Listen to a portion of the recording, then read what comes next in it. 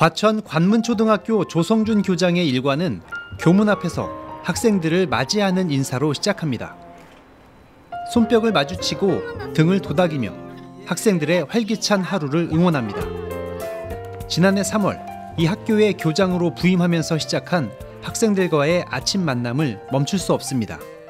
밝은 어떤 그런 뭐 미소 어, 이런 것들도 보고도 싶고 또 제가 아침에도 밝게 맞이하면서 우리 아이들이 또 하루를 열어주는 뭐 그러한 의미를 계속 제가 되새기면서 중단하지 않고 제가 학생과의 소통은 교실에서도 이어집니다.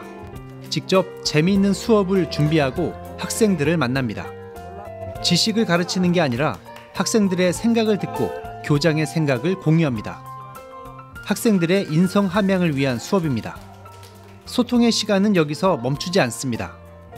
학생들에게 즐거움을 주기 위해 직접 삐에로가 되기도 합니다. 어릿광대 복장의 삐에로 교장 선생님은 학생들과 게임을 하고 선물도 나눠주며 권위를 벗어 던졌습니다. 다른 학교 교장 선생님들은 좀 근엄한 이미지에 당하기 힘든 분이었어요. 근데 여기 학교에 와서 가장 놀란 점은 교장 선생님이 다른 일반 선생님들처럼 항상 반갑게 맞이해 주시고 뭔가 학생들과 좀더 친근한 그런 이미지가 있어서 좋았어요.